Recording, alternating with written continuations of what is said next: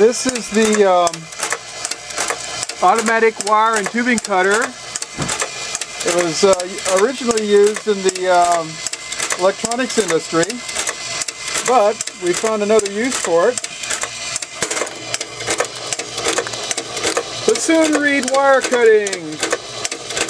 I can cut contra or bassoon wire precisely in the thousands if I want to.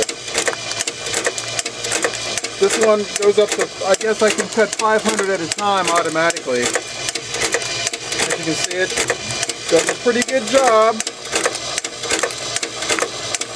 I collected in my little box. Makes a tedious job so much easier. There's the feed wire. I buy it by the pound.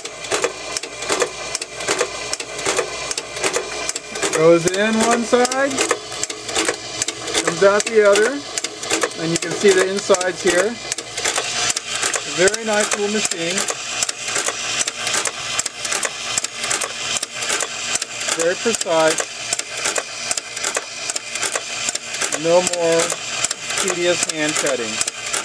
There it is. Automatic wire cutter for cutting bassoon reed wire.